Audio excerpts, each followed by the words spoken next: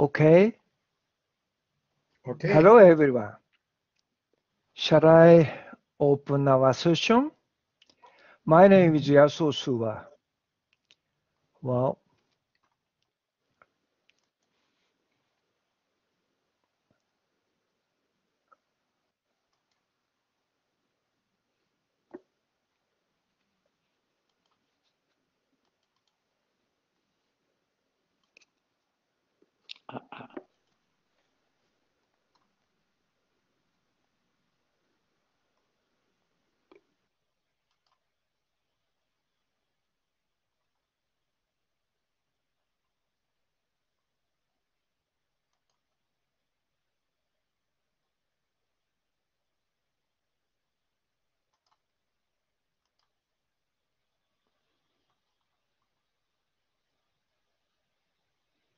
uh, well, let's start our session. Uh, workshop 10. Uh, my name is Yasuo Suwa. I am very pleased to uh, participate in this session. Marco and I met 47 years ago in Bologna. From then until 2002, we worked together on many occasions. A few years after we met, we are young, as you can see in the photo on the left-hand side. At that time, there was a lot of debate about industrial relations, but autonomous work, for example, was not discussed as much as now. Time has passed. I am now as old as the picture on the right, but I hope to learn much from my young colleagues on this occasion. I look forward to a lively and stimulating presentations and comments. Now, I'd like to announce you all the uh, audience that for the entire duration of the conference, it is possible to watch via the Marco Biagi Foundation's YouTube channel the short videos presented by the participants in the Young Scholars Poster session. And uh, my main role is uh, timekeeping. I ask all the speakers to finish your presentation within 10 minutes. One minute before the timeout, I will show you this paper. So please try to finish your presentation as far, fast as possible. And uh, as a timeout, at, at, at the ending time, I, I will show you timeout uh, with us, Marcy. Marcy. Please uh, finish your presentation, conclude your presentation uh, uh, as, uh, as fast as possible. So, and now let's start our session from uh, uh, Dr. Gionata Cavallini, University of Milan, Bar of Milan, Italy. Her presentation title is Protecting Autonomous Work in Specific Sectors, the Case of Italian Lawyers. Please start your presentation. Thank you. Thank you very much, Professor. I hope you hear me and that you can see the slides that I prepared. Do you see them? Yes. Okay, wonderful. Um, good afternoon to everybody. My name is Gionata Cavallini. I hold a PhD in labor law at the State University of Milan, and I currently work as a labor lawyer in the Milan area. I am very glad to be here again, even in, in, this strange situation, to the international conference in commemoration of Professor Marco Biagi, which is an appointment that uh, well, is very dear to me and uh, that I have been for many for many years. Uh, today I'm here uh, to talk uh, about a specific uh, case Dr. study. Gionata Cavallini, Yes. Yes. I can't hear your voice. You cannot hear my voice. Um, but uh, other people can. I do. Okay. Uh, For us is for you is okay. Just well, tell me if if I think- uh, May I suggest that Francesco Faenza uh, use the chat to give Ya- the moderator Yasuo Suwa some assistance? Uh, It must be on his end because the rest of Okay. hear you. Well, of course, technical problems are always in the at the at every corner in this period. So, okay, I'm I will continue. And so I'm here uh, to talk uh, about a specific case study regarding uh, the case of Italian lawyers. Not only because I am an Italian lawyer, which is, of course, it makes uh, me easier this uh, this task, but for some good reasons that regard the relationship between labor law and lawyers' labor. I chose these two images that I hope you can see on the screen because, uh, um, well, there is always been some mistrust for lawyers in general in society. Uh, lawyers are mostly seen as a, as a rich, often unscrupulous and greedy people who do not deserve any labor law protection. Why on earth should lawyers deserve some of the statutory employment law protections if they are a strong actor on a market and they are fully autonomous workers? And this is why in this famous movie, Philadelphia 1993, there is a famous American joke regarding lawyers that they should all be chained at the bottom of the ocean. And uh, one of the most important Italian novels from the 19th century, The Betrothed, I Promessi Sposi, depicts the image of the lawyer as a very unscrupulous man, uh, the uh, Azzecca Garbugli, the quibble weaver, a man who does not really care about uh, uh, the interests of uh, normal people, but just a greedy and bad, bad character. However, um, today in the new uh, framework of the Italian market, uh, labor lawyers should start considering also uh, lawyers as some subjects uh, that should deserve some some interest from labor law. Maybe not all of the labor law protections, of course, but some interest. Uh, first of all, Italian lawyers are a lot of people. They are more, almost 250,000 people which is a very high density of lawyers. It is twice the density of German lawyers and four times the density of French lawyers, just to give an example. They are characterized by an important uh, level of precariousness and fragility, as we will see in the following uh, in the following slides. And we have interesting data regarding income of lawyers with significant age and gender disparities and let, we can just consider one important number. Uh, an under 40 years old female lawyer has uh, uh, um, a medium, an average wage, an income of 15,000 euros gross per year, which is uh, far less than minimum wage in many sectors of subordinate relationships. But maybe the most important reason why Italian uh, lawyers make a good example to test the need for protective schemes in the field of autonomous work is that in Italy, lawyers must be autonomous workers. The profession of lawyer is incompatible with any employment activity. This is an, uh, a rule coming from the forensic professional law, which means that all Italian lawyers are autonomous workers, notwithstanding the several differences that they present uh, in the in the market.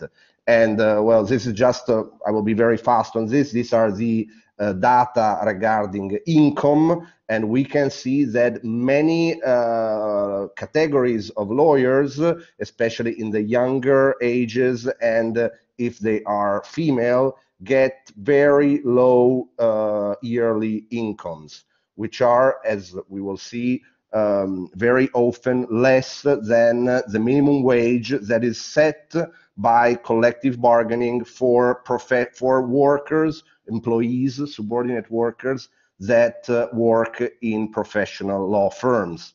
Uh, the secretaries and paralegals have uh, a minimum wage determined by collective agreements that can arrive also to more than 20,000 euros uh, for a year, so more than many other lawyers. And they have, of course, all the benefits of an employment relationship for with respect, for example, to social security contributions that are paid mostly by the employer, while autonomous worker carry all of the costs of social security contribution. And they have, of course, all the well-known rights of statutory employment law, rest, holiday permissions, extra time work, compensations, uh, not without mentioning unemployment benefits after the end of the relationship. Um, lawyers and you could say well of course they are employees they are subordinate while lawyers are autonomous workers. So why should they deserve some of the protections of uh, labor law of statutory employment law? Well actually the data shows that that many italian lawyers find themselves in a condition of economic dependency both towards big institutional clients such as banks and insurance companies both for the law firm they work for, uh, which substantially treat the lawyers working in the firm as employees. We can find this data, for example, 20% of Italian lawyers do not carry any investment cost, which means that they work solely solely for the work for the law firm they they collaborate with and uh, fifth, more or less 50% of Italian lawyers do not own their own law firm. They work for other lawyers and they find themselves in a condition of dependency.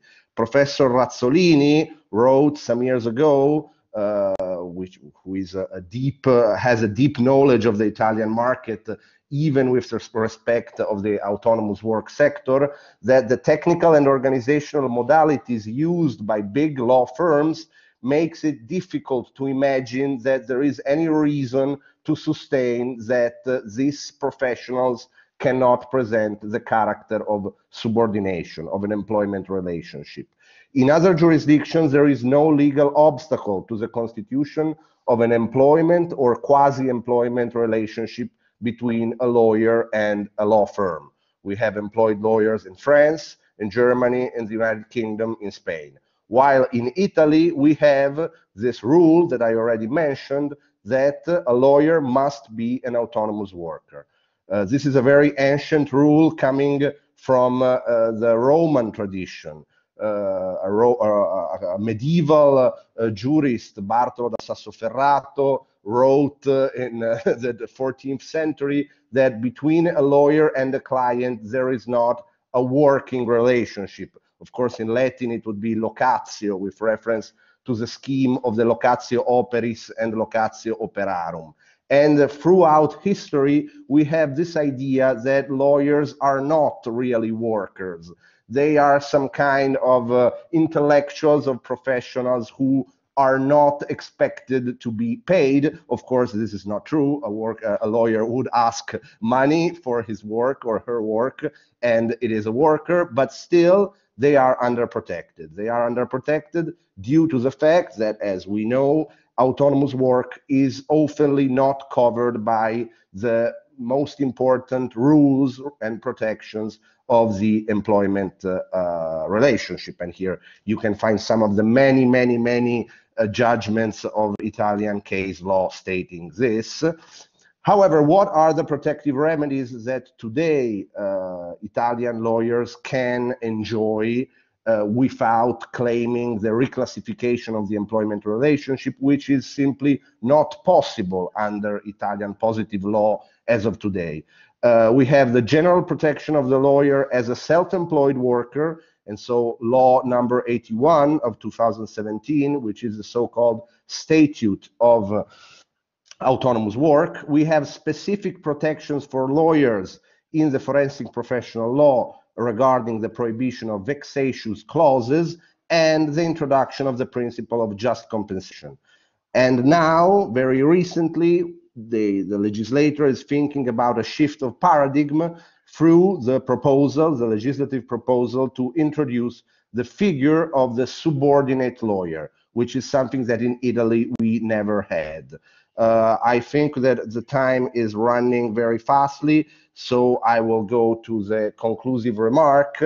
And then, of course, in the debate, maybe we could go a little bit more in depth with the uh, the things that, that, I mentioned. But 10 minutes is, of course, a very a very fast time. Um, we need this is the result the result of the research that you can find, of course, in the paper with all the references is uh, that uh, many lawyers do want to be or to become truly self-entrepreneurs and they just deserve some minimal protection against the abuses of the market and the possible abuses of some strong counterparties. I always mention banks and insurance companies who are able to impose the terms of the transaction. But some lawyers who actually work as, empl as employees may deserve today, at least in the Italian scenario, the protections of a subordinate worker, and there is really no reason not to grant them that protection.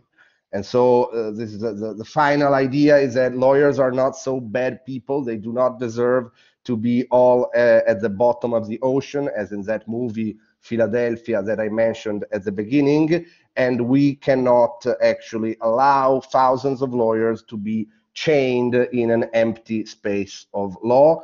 And uh, I hope that I stayed into the 10 minutes. And thank you very much for your attention. Thank you very much, uh, Dr. Gionata Cavallini. I'm sorry, I, I misunderstand your uh, gender. Sorry. Uh, and uh, the second speaker is Matteo Avogaro, Eurofound Ireland. Uh, you, your presentation uh, title is Income Protection in, in the Framework of Liberal Professions. A pathway harmonized the conditions in a common market. Please uh, uh, start your presentation.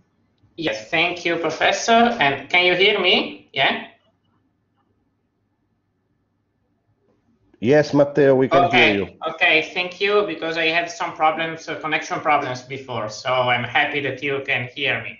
So, uh, good afternoon to everybody, and uh, I thank you, the Marco Biagi Foundation, for this opportunity to be here also this year to share my research and discuss with you. Uh, so uh, let's go uh, to the presentation. So we are talking about income protection and income support, income support policies for liberal professions. And uh, we are looking for some solutions and to try to reply to the question if there is a pathway for a coordinated condition in the European common market. Uh, the first step is to define about who we are talking about. So who are liberal professionals in Europe?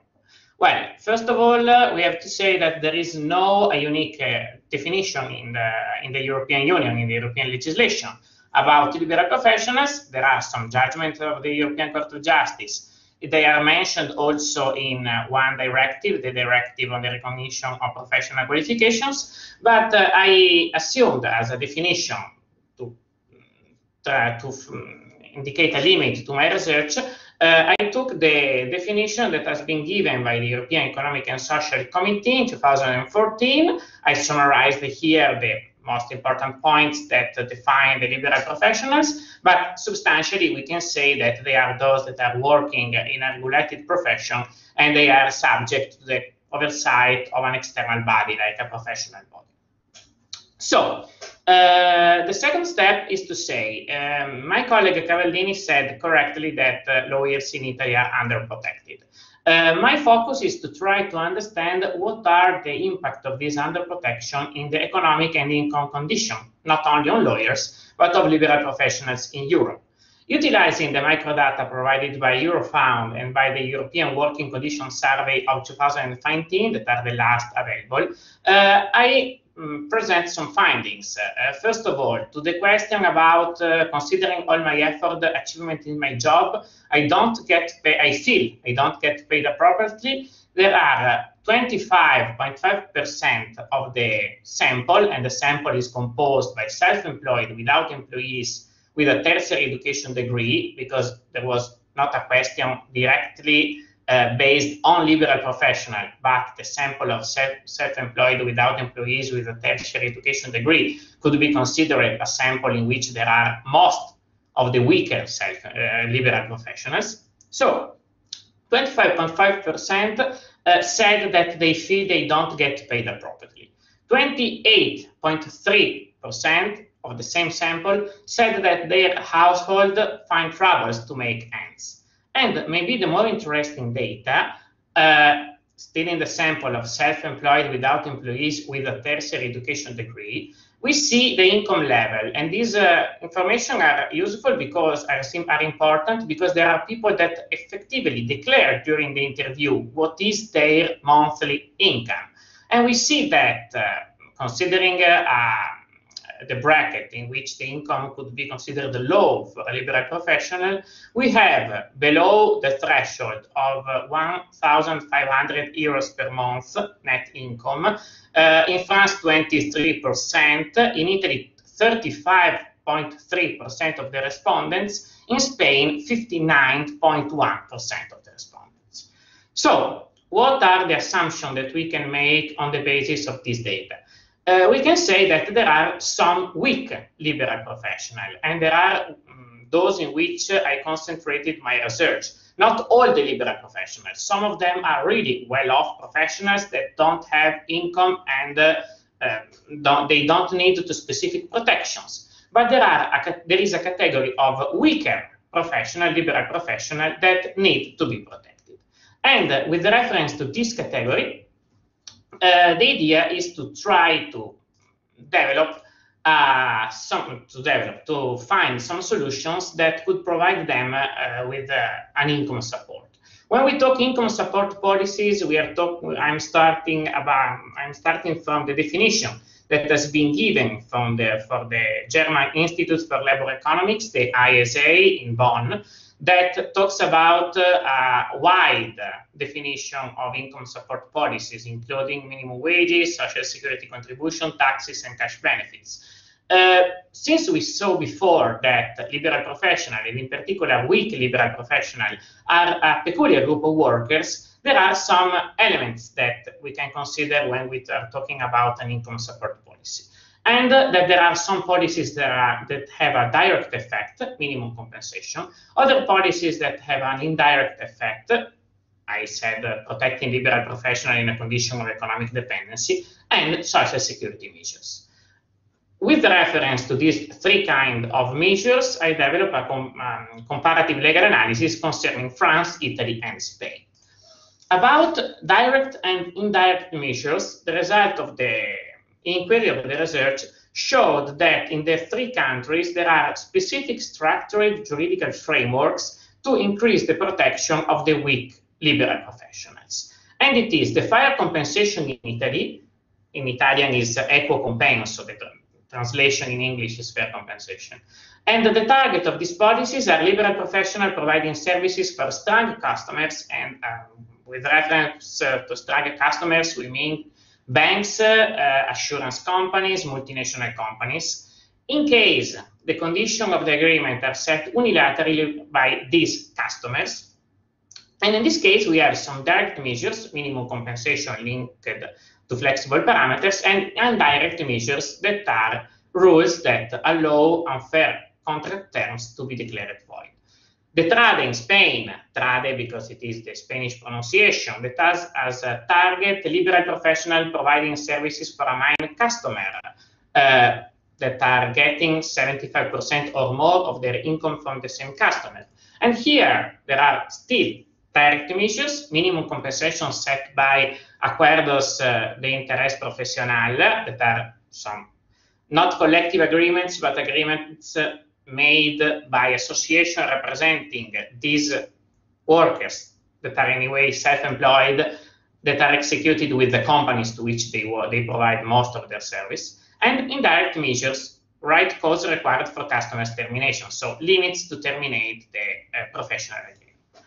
And the third uh, solution that I identified is the avocat collaborateur libéral. This is a third different target because the protection here is provided by a liberal professional providing services for a professional firm. Obviously, the target here are the lawyers, but uh, it could be extended also to other kind of professional. And here the direct measures are minimum compensation for young liberal professional to first years of practice that are set mandatorily by a provision taken by the lawyer's professional body, and indirect measures uh, consisting mainly in a mandatory notice to terminate the collaboration, so a notice period, and the right to develop a personal network of customers using the resources of the firm. So the professional can work for the firm, but at the same time develop a personal network of customers to allow him to increase the income and also to sustain him in case he would stop working for the firm. About the third aspect, social security measures, there is not too much to say, except for Spain, because in Italy and France, in general, uh, liberal professionals are not covered by public schemes of social security measures. They can they have their private social security agency that are not providing anyway a protection similar to the ones of public protection schemes, and in particular, not an insurance against involuntary unemployment. That was the focus of this research. In Spain, there is an interesting opt-in scheme that allows liberal professionals to decide at the beginning of their career if they want to be covered by the public protection uh, social security scheme that is uh, providing a stronger protection and an insurance against unemployment. Here there are the condition maximum 24 months and between uh, 550 euros and 900 euros per month, and, or by the private social security agency for professionals, and this one requires low contributions to be paid, low social security contribution, but they provide low protection and no protection against involuntary unemployment. So this is more or less the most important solution that we have found. Uh, two words, really two words about if this solution could be considered uh, compatible with EU antitrust law. Mainly, yes. The only problem is about the minimum compensation tariffs. So the implant of the schemes that we saw in Italy, in France, and in Spain are in general compatible with European uh, uh, antitrust law. The only problem is about uh, the minimum compensation threshold that could be set in these uh, three uh, schemes, three structured uh, framework of protection. And in this case, I don't go into the details, then we can discuss during the debate because there is no time. But we have to say that according to uh, the, the case law of the Court of, Europe, um, Court of Justice of the European Union, there are some cases, and in particular cases uh, in which uh, uh the case law say overriding reasons relating to the public interest, minimum compensation threshold to protect the weakest uh, liberal professionals are admitted. So the general idea that there is in some countries that uh, minimum uh, compensation threshold, the minimum compensation, are not admitted for uh, a liberal professional is not totally true. There are some cases in which they are admitted and some cases that are the ones that we considered before. Going to the conclusions. Uh, what we can uh, uh, obtain from this research and this analysis that there are some core principles that inspire the different solutions found in the three countries that has been compared that could be considered the base of a core structure of protection to increase the, the protection and the, the, improve the condition of liberal professionals, weaker liberal professionals that we saw in the, uh, in the market and in general in the society. And this protection are four kind of protection. A protection against unfair contract terms imposed by strong customers that we said before, so by banks, by big insurance companies, by uh, multinational companies. So when the professional provides service for this company, has to be protected by exploitation by these companies that could impose unfair contract terms.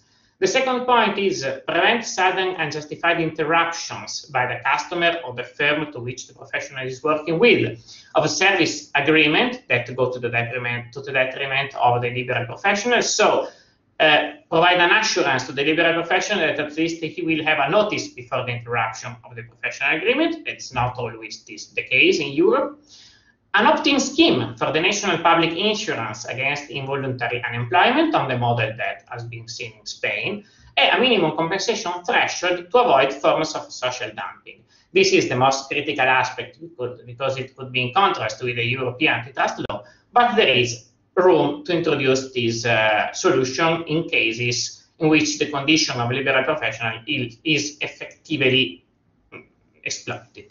So, final uh, point, what strategy it is the best to introduce this solution at the European level.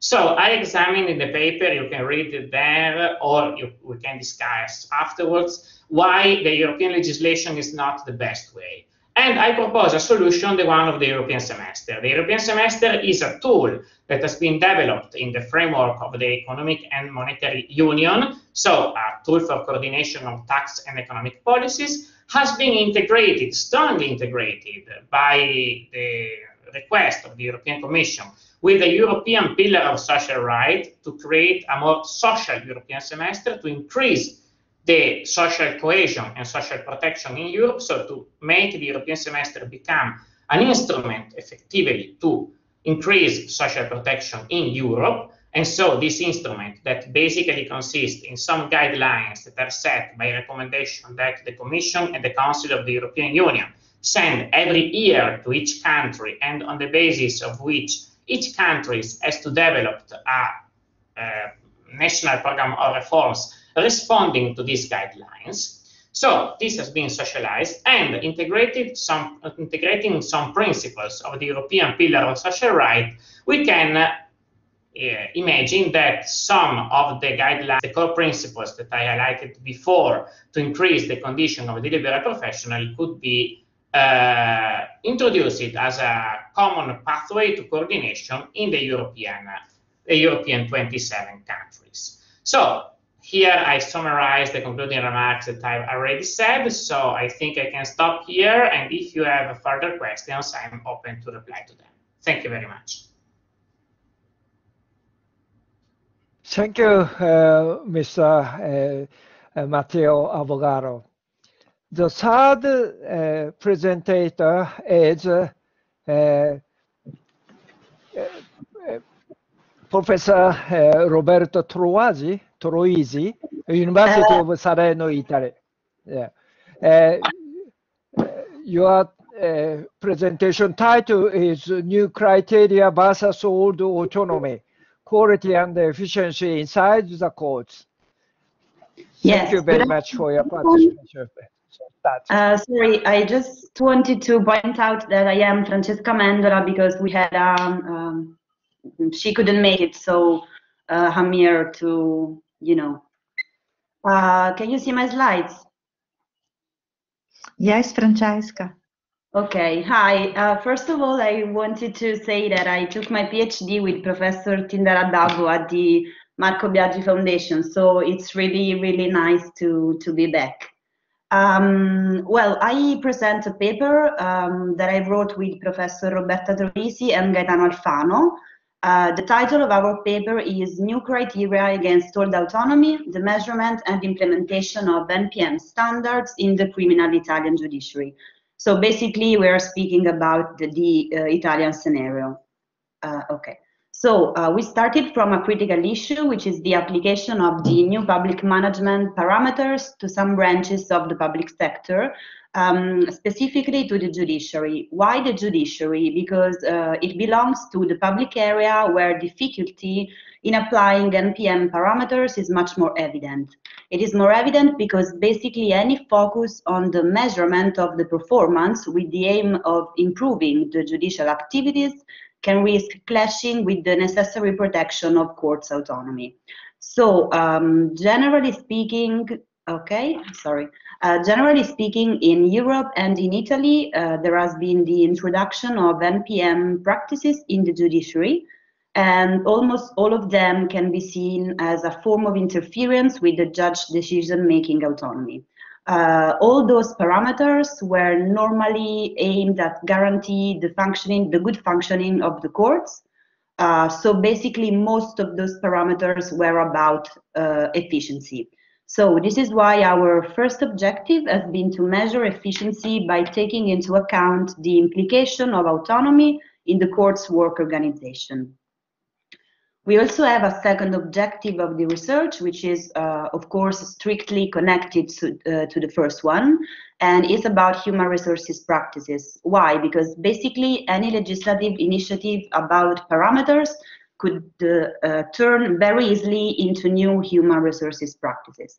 So we also aim to verify whether autonomy as a job characteristics leads to a general resistance to change or if different contexts with different degrees of efficiency can show different degrees of resistance to change.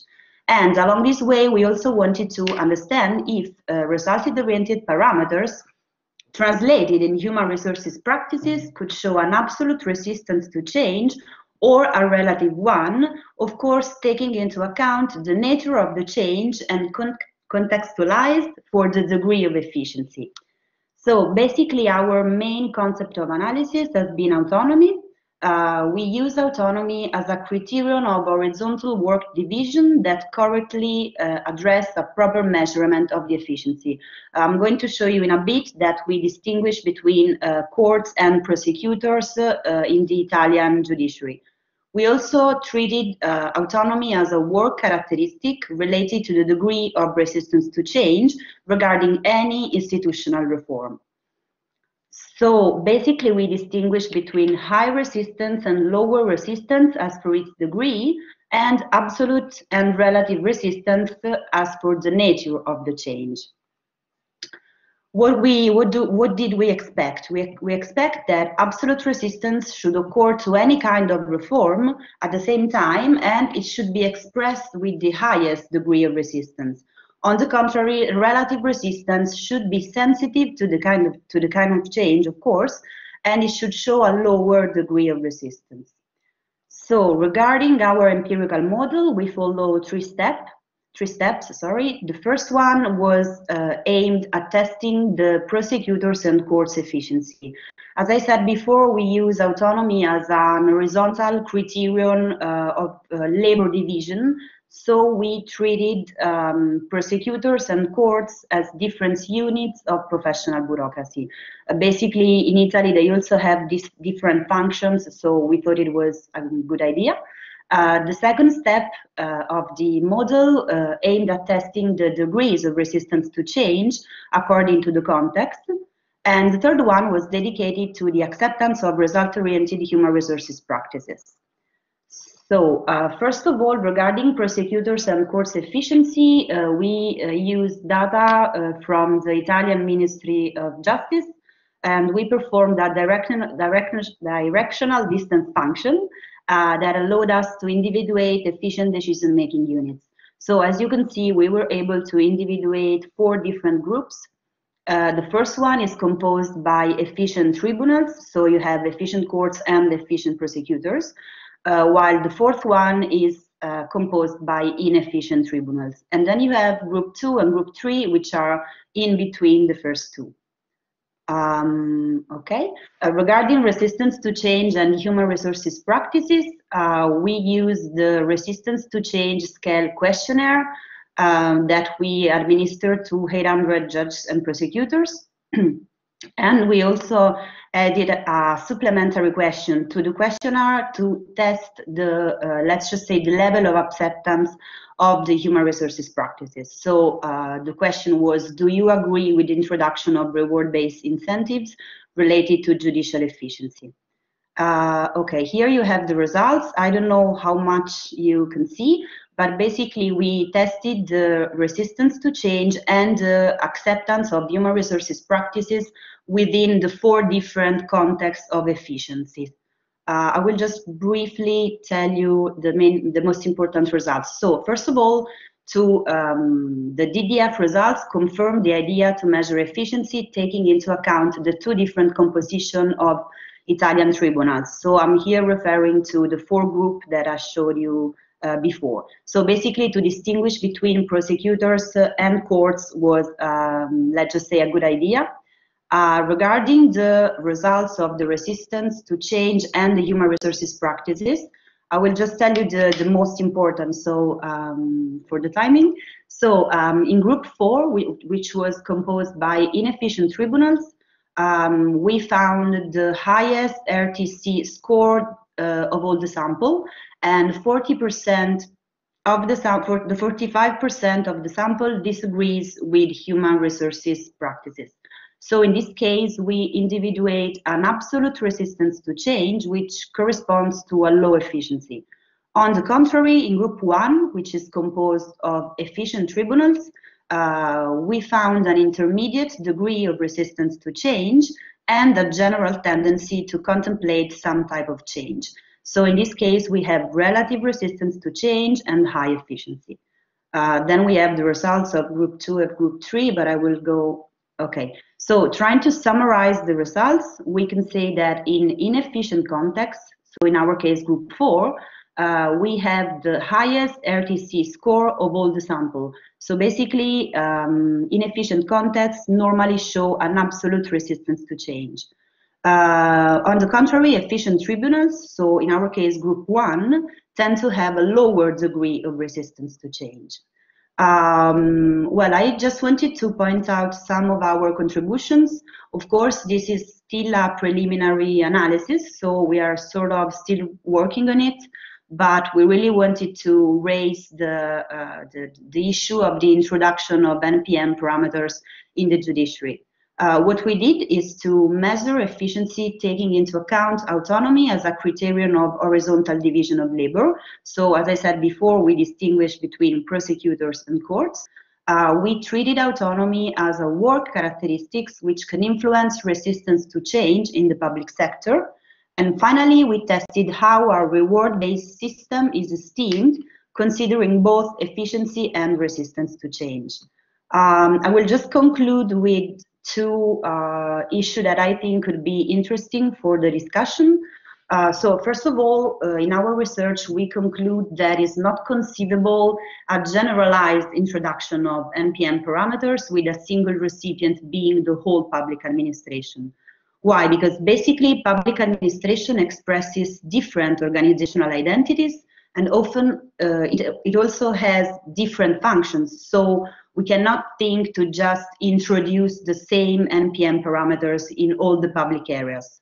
Uh, judiciary in this case was basically just an example.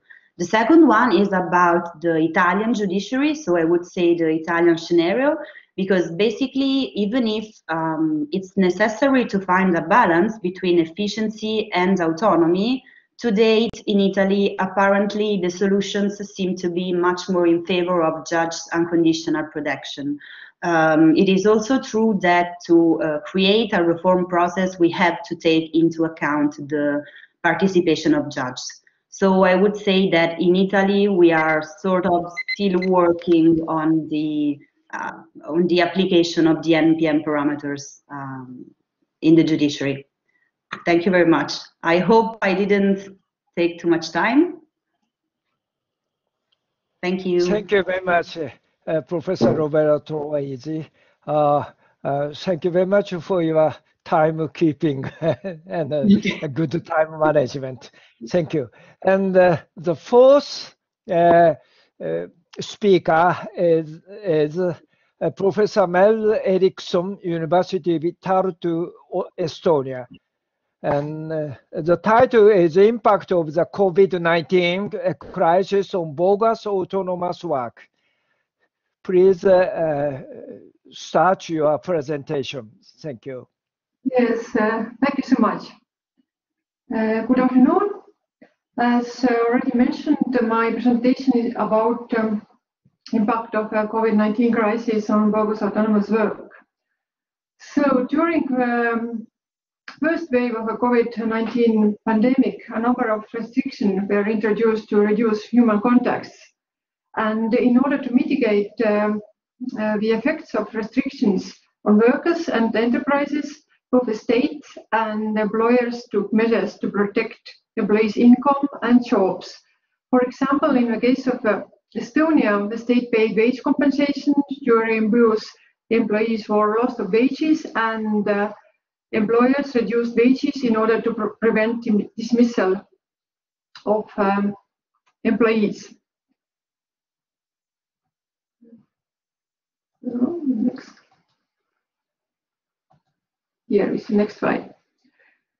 Uh, the peculiarity of Estonia was also that the measures taken to maintain employees' income or job did not cover persons working under the civil law contracts, mainly under construct of mandate of contract of for services, that is independent contractors.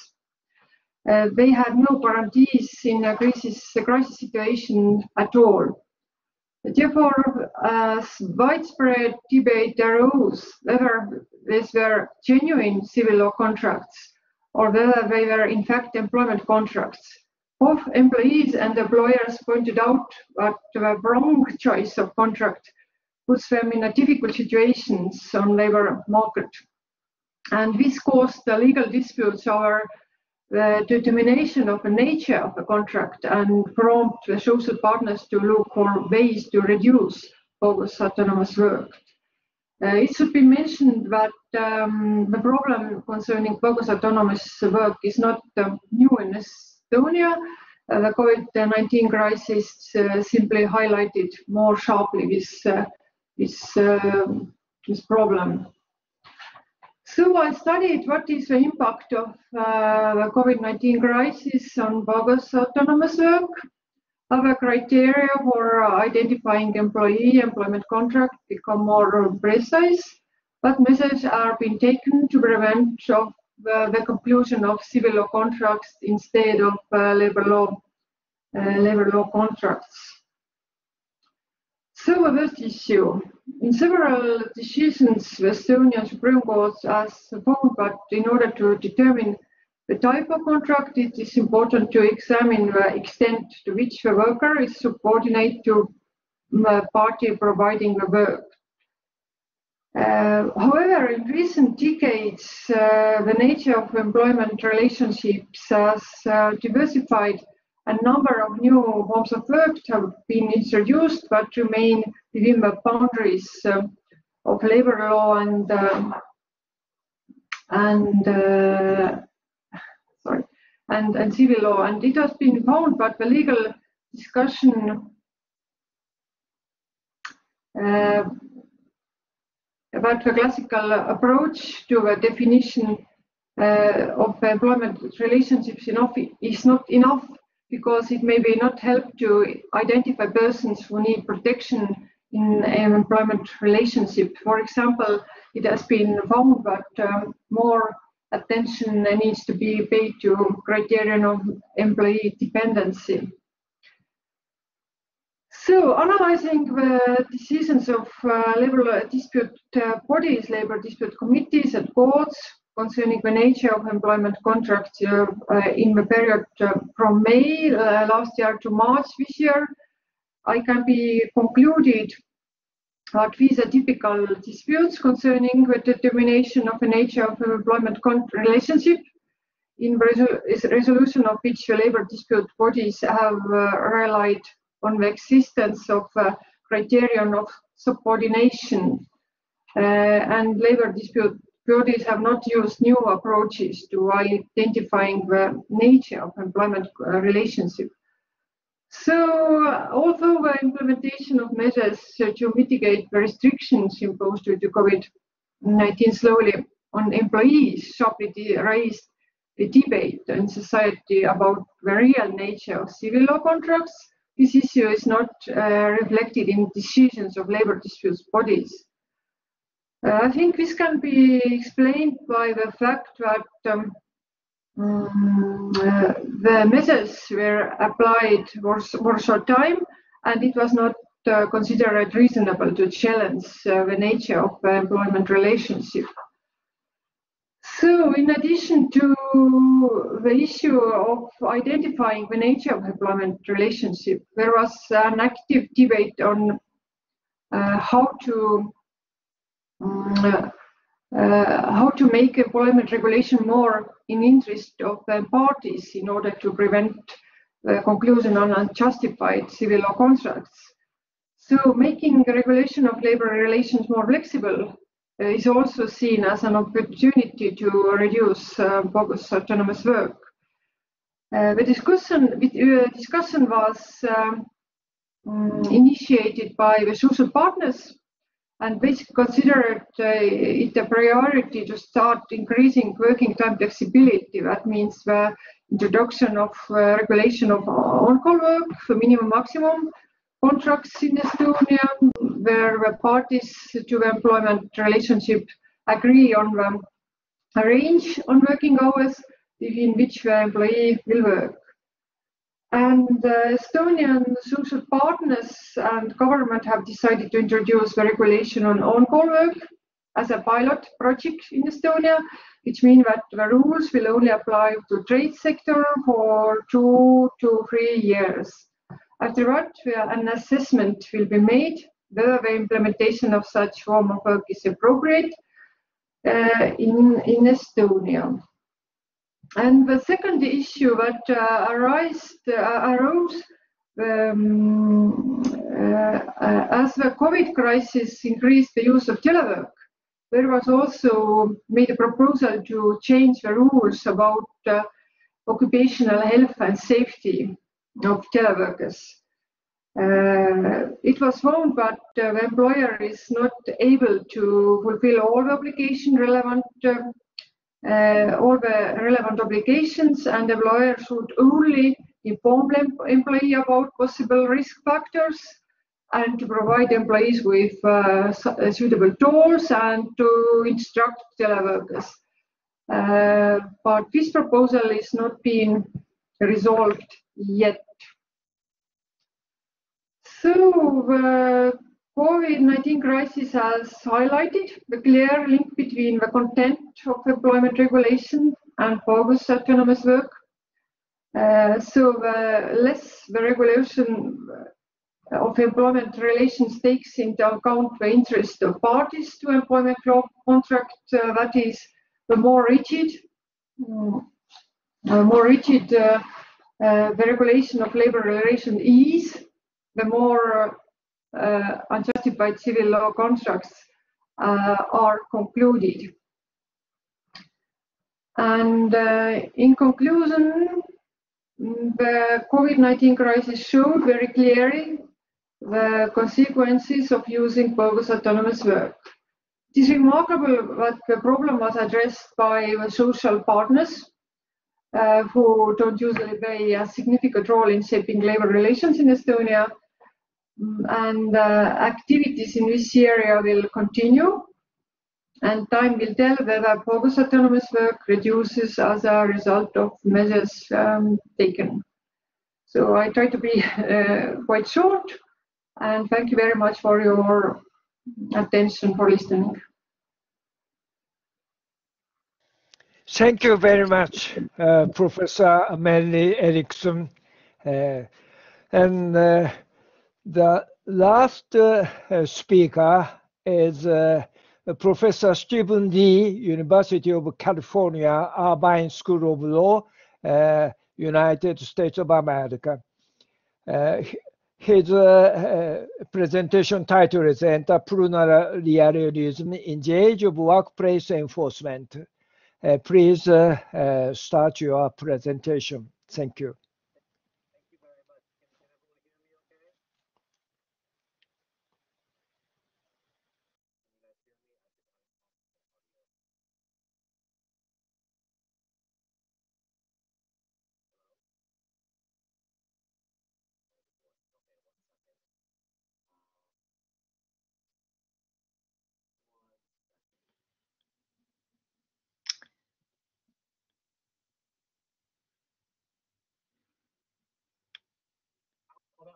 you hear me now?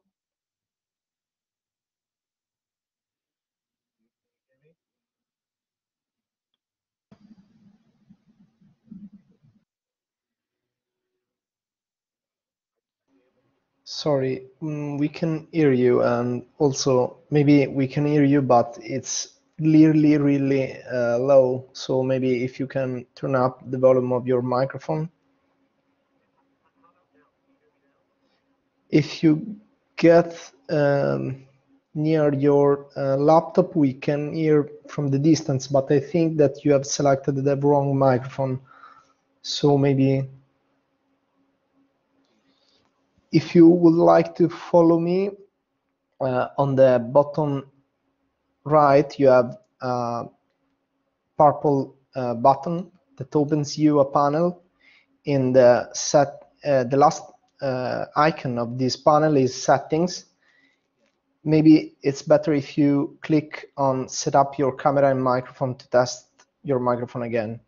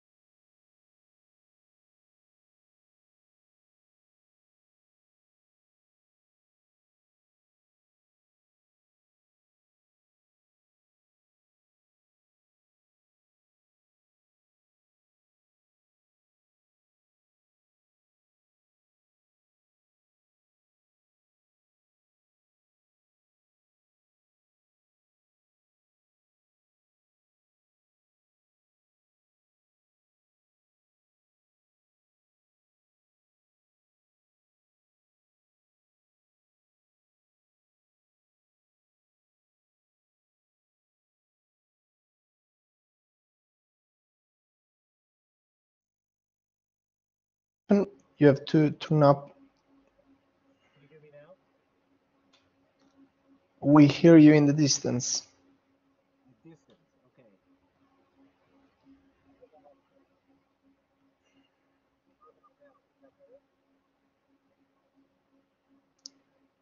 I still hear you very distant. I don't know if any other can hear you better, but No, we can hear very far, as if uh, he were far away from the mic. Seems to be the same problem I had the other day.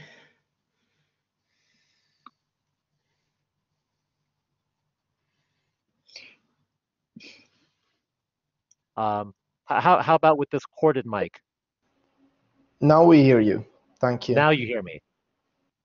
Oh, okay, great, great. Okay, so you know we're only a year into this pandemic. You would think that I would have figured out the technology by now. Um, okay, thank you so much. Let me see. If, get back to my slides. Uh, Okay, so my apologies for uh, the technical difficulties. Thank you to the organizers. I wish we could be together to discuss this in person, uh, but mostly I'm I'm hopeful that I'm hoping that everyone is is safe and um, staying healthy. So uh, I'm a legal scholar. I uh, research and write about questions related to immigration, and within that body of work, there's a very focused and well-defined conversation about immigrant workers. Now. Uh, there are many reasons for this economic, uh, political, and legal. But the larger point that I want to make is that by contrast, there is a very uh, uh narrow or uh, undeveloped conversation about immigrant entrepreneurs in the legal scholarship space. Now, a part of why this is interesting is because, as many of you know, in the social sciences, immigrant entrepreneurialism is very well covered number number of people for decades have uh, discussed and documented and theorized immigrant entrepreneurialism. Um, so my project is to try to focus our attention uh, as legal scholars on immigrant entrepreneurs and to get a sense of uh, what insights we might be able to garner. Now, if uh, you came to the United States and you spent time in a major city like Los Angeles or New York, uh, if you uh, ask someone what they thought of when they thought of an immigrant entrepreneur, you might think of something like this, like a restaurant. Um, even if you didn't visit a city like this and you were just paying attention to the national news, you might think of uh, uh, dreamers. These are um, high achieving uh, undocumented immigrants in the United States, uh, many of whom have uh, engaged in entrepreneurial and business activity. Um, but my interest is in a, a different category of immigrant entrepreneur, and that is what I call street vendors. So these are people who do not work in a brick or mortar restaurant. They are not people who work in an office. They're people on the street who provide uh, basic, uh, who meet the basic food and daily needs of people who live in a community. So when you focus on uh, street vendors, uh, you develop uh, an interesting and a set of insights about entrepreneurialism. So let me just go ahead and um, begin with that part of my talk. In particular, I would like to focus on um, this movement to decriminalize street vending. So there's a long history of street vending in the United States. Uh, there's a long history in Southern California where I live. And uh, in many ways, this speaks to the availability of work at the bottom of the labor market. So this has to do with um, value that's generated through cash exchanges, and they largely fit within regulatory gaps. Um, for a number of years and in many cities, street vending was regulated primarily through public health laws, public safety laws, but mostly it reflected the political influence of, uh, of the restaurant industry and chambers of commerce who are tied to brick and mortar restaurants. Um, in the last several years, there has been a push to decriminalize street vending, uh, again, in part because um, police were doing a lot of the work in terms of um, enforcing these laws. Now, uh, this, of course, has been challenging in an era where there are so many undocumented or unauthorized immigrants and so few opportunities to obtain legal status. So the threat of coming into contact with the police raised uh, a number of concerns and fears for people in the immigrant community. So this prompted the state of California to pass what's known as the Safe Sidewalk Vending Act. This was passed in 2018. And what was important about this law was that it replaced criminal penalties for sidewalk vending with non-criminal or administrative penalties. So the idea was that uh, instead of being arrested or having your uh, your cart seized and taken by the state, uh, rather you would receive a fine, and it was um, based in part on your ability to pay as opposed to um, a set of uh, increasing fines that could lead to uh, jail time. Um, okay, so uh, this is the sort of like broad brushstrokes. Happy to talk more during the debate. Um, if you look at the example of uh, safe sidewalk vending in the in California and decriminalizing uh, street vending, uh, we yield a number of interesting insights about immigrant entrepreneurialism uh, as legal scholars. Uh, and there are three insights, what I call immigration, the, the, the salience of immigration enforcement, the continuing salience of immigration enforcement, uh, policing public spaces, and racialization. So let me just talk about each in turn. So the first key insight is that so much of economic and social life uh, is tied to uh, immigration enforcement and uh, the effort by immigrants to try to fit into those spaces that are untouched by immigration law. So since 1986, uh, uh, employers have been required to check and verify the immigration status of their workers. This is on the left, you see an image of what's known uh, as the form, the I-9 form. Uh, and this is something that each employee has to fill out before getting a job and they have to provide documentation, which you see on the right, driver's license, social security card, etc. Um, and what's important about this is that uh, this law, this 1986 law, is tied to uh, uh, employers and the employer-worker relationship. Um, this law does not reach entrepreneurs who don't work for others, but rather work for themselves, as the saying goes. So because they are working for themselves, they are independent contractors and therefore do not ever have to show or produce proof of authorized status. They don't have to show their documentation. So um, that's one of the reasons why uh, uh, immigrants, especially um, poor immigrants, find themselves in the entrepreneurial space. Um, you know, not when people think about entrepreneurs, they often think of sort of Silicon Valley and these very high skilled uh, elite entrepreneurs. Uh, this is a, a, similar sort of dynamic, except taking place on the bottom. You're, you're trying to fill in these uh, gaps in the economy that are left untouched by the law. So that's the first insight, the continuing salience of immigration enforcement in the lives of immigrants. Um, there's a second insight, and this has to do with policing public space. Uh, so under the US Constitution, uh, uh, there are a number of amendments, and the amendments all articulate various individual rights. The Fourth Amendment articulates the individual right to be free from searches and seizures by uh, the state, uh, uh, unless the state has some sort of reason in the form of a warrant. Uh, but what's important to note is that state power is um, much less constrained in a public space than in a private space. So if you think about uh, a workplace from the perspective of criminal law, you as a worker have far fewer protections working in a public space than in an office building. So uh, you see here a police officers just questioning someone on the street. Um, if you translate that into the work context, you see on the left, you have a street vendor uh, who's there and um, under a, a, wide range of conditions, a police officer would have the power to uh, interrogate him and ask him questions. On the right, you see someone working within a building and typically, you cannot, as a police officer, cannot enter that space under the Fourth Amendment without consent of the employer. So just um, if we look about look at this uh, example of street vending from the perspective of uh, criminal procedural protections, you see that street vendors are much more vulnerable than people who typically work within a brick and mortar store or a workspace. Okay, Finally, uh, uh, let me talk a little bit about racialization. So uh, you have the same sort of pictures here. Um, what's uh, important to note is that uh, because street vending had been so criminalized, uh, there's a, a, sort of um, stigma or deviance that's attached to this kind of work.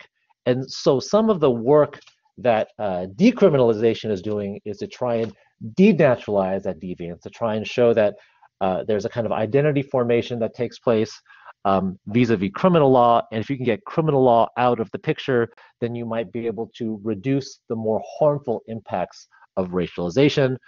Um, more broadly, I should say that this also connects street vending to um, other more uh, uh, you know, common and, and harmful pictures that are uh, circulated uh, in the media.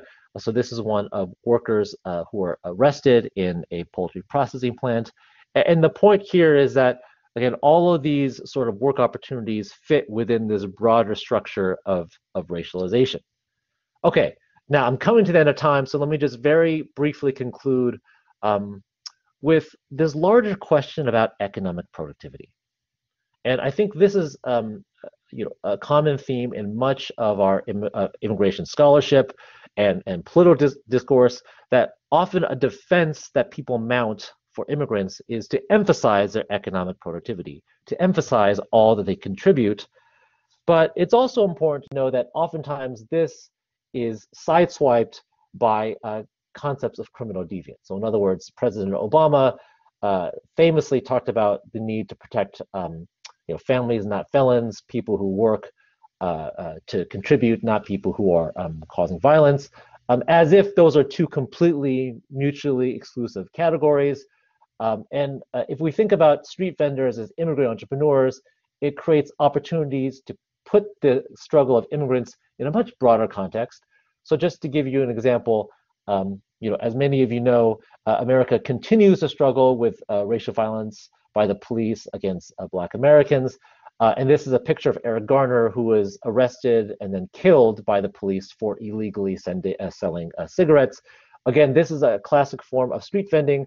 It was again, a form of entrepreneurialism, but that part was uh, de-emphasized because of the illegality of selling of cigarettes. So again, part of what this street vending example shows is the arbitrary nature in which certain activities are characterized as uh, deviant and others are characterized as productive. Okay, uh, with that, I will conclude. Thank you so much. Thank you, uh, Professor Lee. Uh, now uh, we will have the last uh, speaker, uh, dis discussant Professor Riccardo Salomone, University of Trento Marco Biagi Foundation. Okay, could you please uh, uh, start your presentation? Thank, thank you, Chair. Thanks, Yasuo, and nice to see you again. Uh, let me begin by, by thanking the, the Marco Biagi Foundation for the invitation and the opportunity to contribute to, to the discussion today. Um, uh, since I've got limited time, I, my commentary is primarily to the audience and only secondarily for, for the panelists. And to this end, I, I make two main points. I would like to start with a few words uh, about the quality of papers presented in this session.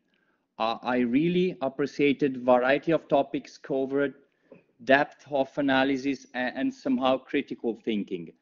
Uh, and all that we have heard so far confirms that, that quality. Uh, but uh, this is my first point. I would like to stress a fundamental uh, methodological issue. Um, properly understanding the advantages and limitation of non-law methods, I mean methods used by economists, sociologists, political scientists, and, and so on, uh, clarifies the value they can add to analysis of law issues and, and questions. And equally important, it, it underscores how lawyers approach uh, um, can complement but never, never replace alternative methods used in other disciplines. Uh, from my point of view, uh, violations, uh, transgressions of disciplinary uh, boundaries are, are, always welcome. Our understanding uh, of the main topic of the conference, protecting autonomous work, is, is enriched by, by different styles of research, um, labor lawyers, lawyers in general, and other scholars uh, should put together and mix more and more the diversity of their approaches uh, instead of rejecting what is done in, in other uh, uh disciplines. Mm, I'm thinking uh, about measurement and implementation of, of, NPM standards. Francesca outlines an, a sharp conclusion. Uh, resistance to change is higher in low efficiency context, uh, while the most productive ones do not show the lowest level of resistance to change.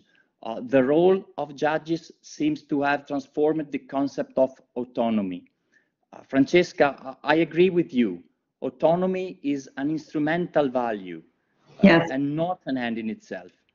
Uh, your conclusion is the perfect incipit for an interdisciplinary paper dealing with the topic of our conference and, and able to mix your methodology with normative or, or legal approach.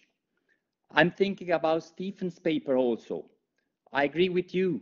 The street vending example illustrates how uh, uh states, uh, legislators, uh, authorities can affect uh, immigration law in less direct ways and illustrates how we can use law to remove obstacles uh, to participating in the economic life of our community. Uh, but law is not omnipotent. And therefore, I also agree with you, Stephen, with reference to the fact that the employee status could not address the core problems in immigrants' lives, like humiliation and subordination tied up in, in working as non-white immigrant workers. Um, relationships between central government and, and states, regions, or municipalities are crucial factors, actually, not only within the, the US legal system. in relation to this aspect, Stephen, I, I would uh, I would like to ask you whether trends you described are going to be confirmed or not in the current phase, and and whether anything will change or not in the Biden administration era. Um, then I would like to mention Gionata and Matteo's similar approach to the topic of protecting autonomous workers in the specific sector of, of legal and liberal professions. Uh, both papers uh, propose uh, innovative paths and interesting solutions to address the sectoral problems using a legal approach, but starting from a solid base of empirical evidence, data, and figures. Well done, Matteo. Well done, uh, Gionata. Um, my second point is quite simple, and is that uh, in a COVID-19 world, uh, we all have to find alternatives, uh, new ways. In short, we have to change our minds for the challenge of protection of autonomous work. And, and so I think we have to start with a simple question. Uh, what is labor law for? Uh, to put it simply, uh, labor law uh, was born basically to protect people, people who work and are therefore in a condition of weakness or, or at risk. Labor law was and is a way of regulating life and improving dignity of people. Uh, should we therefore now extend the scope of labor law in response to what needs? Should we do it through legislative intervention or maybe by supporting collective action and then collective bargaining? Uh, these are very, very difficult questions. As Merle's paper shows with respect to the case of Estonia and, and Finland, um, all the papers, however, uh, contain at least partial answer and an interesting proposal to tackle mentioned problems. I'm thinking about Merle's paper, but this is also true for Gionata, Stephen, and Matteo presentations. I personally, I have many doubts about which is the right path to, to choose and, and make the right decision. Uh, but um, here, uh, I would like to mention an option which our panels explore to tell the truth only marginally or not directly as a tool for protecting autonomous work. Uh, the active labor market policy approach. Um, the COVID pandemic has a severe impact on societies and labor markets. However, not all countries, groups, and, and sectors are equally affected. And it is still, of course, too early to evaluate the real success of strategies to cope with, with the problem. Uh, but a few uh, law and policy direction become apparent. And this includes, for, for sure, number one, as we all know, the use of digital tools to increase people resilience. And number two, a proper understanding of what works for income support and, and policy intervention. Uh, I think it's time to start to analyze these two directions in more sy systemic ways. In their sectoral analysis, Matteo and, and Stephen uh, bring basic ideas and an indication to the table. Uh, there are, of course, significant cross-country differences in the labor market and the actual effect of the COVID-19 crisis on specific categories of workers also depends on the institutional setting in the respective country and on sectoral or occupational composition of the autonomous work. But one point seems to me of particular importance. Active labor market policies are generally complex policies, highly dependent on contextual factors and the quality of their implementation. Uh, vocational training and, and job search assistance um, are key component of active policies and they traditionally consist of information and assistance services delivered by advisors at, at employment agencies or, or, job centers. And so, uh, which type of assistance is more effective for different types of job seeker like the autonomous ones? Uh, recent economic studies show that low-cost interventions that provide tailored labor market information can improve search behavior and employment outcomes for some job seeker, even in the absence of labor-intensive counseling or monitoring. In short, uh, vocational training and job search assistance programs could use digital tools for particular categories of workers and respond to the needs of autonomous workers. On the one hand, new policies designed to protect autonomous work should be based on the principle of temporary economic support. On the other hand, new initiatives aimed at supporting autonomous work should provide for direct and indirect conditionality measure with duties and obligation for beneficiaries of subsidies to accept uh, specific training initiatives or, or job opportunities. My point is that we have to explore more deeply which kind of support autonomous work needs in the next future. And this could be a good starting point for new research papers for scholars in different disciplines. That's it. Thank you for your attention, and I wish we could be together next year in Modena. Uh, thank you, Professor Salomone. And uh, uh, would you like to uh, reply to the comment of Professor Salomone? Yes, please. Uh, I just, sorry. no, I just wanted to thank him for the comment, and um, I I totally agree with you the uh, interdisciplinary approach that we should use. Uh, also, I normally deal with organizational study and public administration studies. So for me, it was also really interesting to approach something more, uh, let's just say something closer to, to law, because who doesn't have uh, a law background normally doesn't really, um, you know, get some points. So it was a great opportunity also as a researcher to use an organizational approach to a, uh, let's just say, law issue. So I agree that we should use uh, always different approach. That that's uh, all I wanted to say. Thank you. Thank you. Uh, if uh, if I may, please go ahead. Thank you. Uh, I would like to thank you as well, the professor, for the comments and for the intervention. Uh, I would say that I totally agree. So active labor market policies are the other side of the coin that I would uh, would have liked to explore in my paper, but uh, so it, it, would have been too long. But I agree that it is the the other aspect that is fundamental to allow self-employed to stay in the labor market.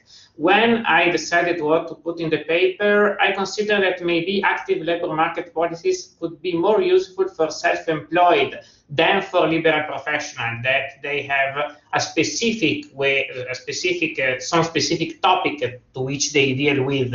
So there are a slight difference. In my opinion, active labor market policies are an extraordinary instrument to support a self-employed that could also change the kind of job that he's doing or modify his kind of job. For a liberal professional that in general took experience and uh, a license to practice in a specific field, maybe, and it was the idea that I sustained in the paper at the end, a most effective way is to try to keep him or her stay in the market as much as possible.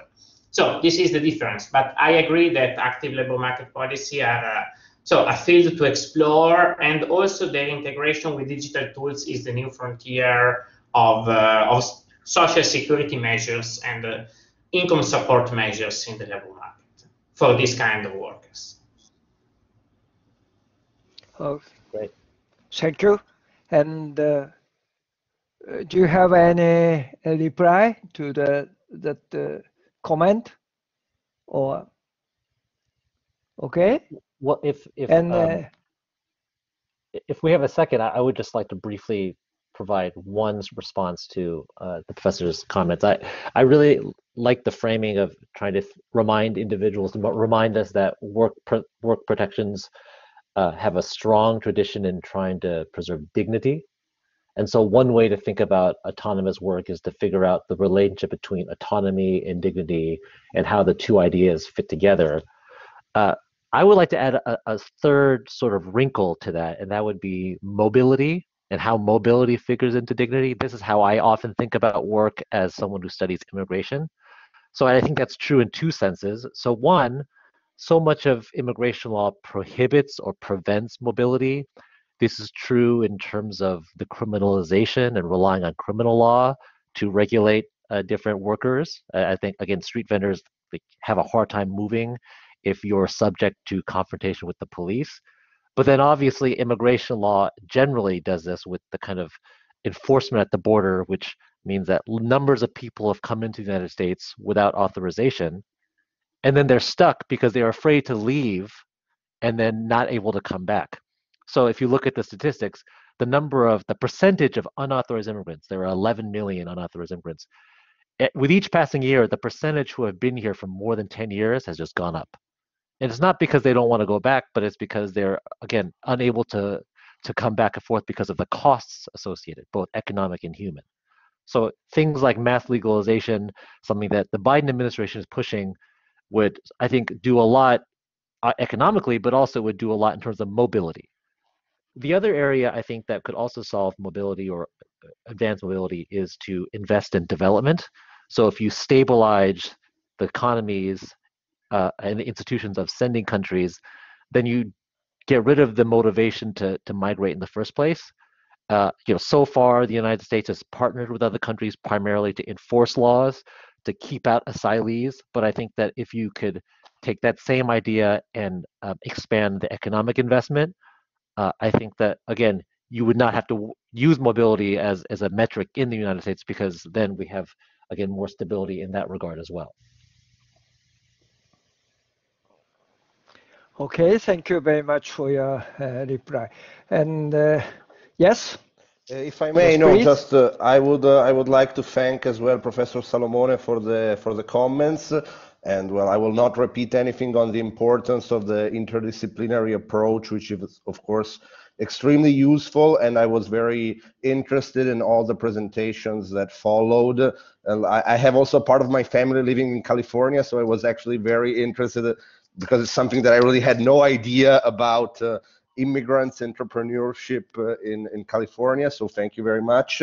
And only one comment uh, is uh, on well the tendencies and the strategies. At one point, I think it becomes also a matter of po- political options, and then it goes be be all behind. Uh, uh, every consideration that has a scientifical uh, base because it became it becomes really a matter of political options and my fear as an Italian citizen and not and as a lawyer is that while we have a very high level in uh, of quality in the academical debate in the legal sector and outside my fear is that we do not have the same quality in the political debate. And uh, so this is maybe something that we will have to deal with uh, not only in the conferences and in research but in everyday life uh, as citizens and members of a, of a community. But of course, this becomes another conference next year.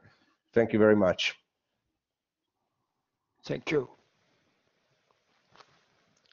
Well, uh, uh, because my uh, poor time management and some troubles, we have uh, uh, almost no time to use for my uh, workshop. So uh, I, I'd like to conclude uh, my session, unfortunately, and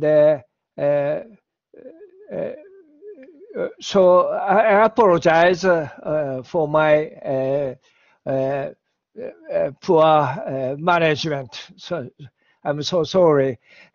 But anyway, uh, thank you very much for your uh, uh good uh, uh, presentations of uh, all the speakers. And uh, thank you very much for your patience for the audience instead of some troubles and bad time management.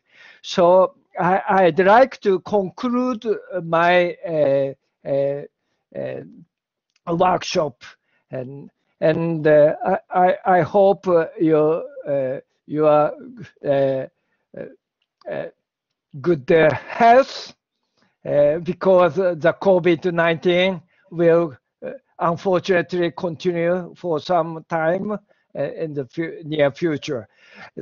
And anyway, thank you very much for everyone. Thank you,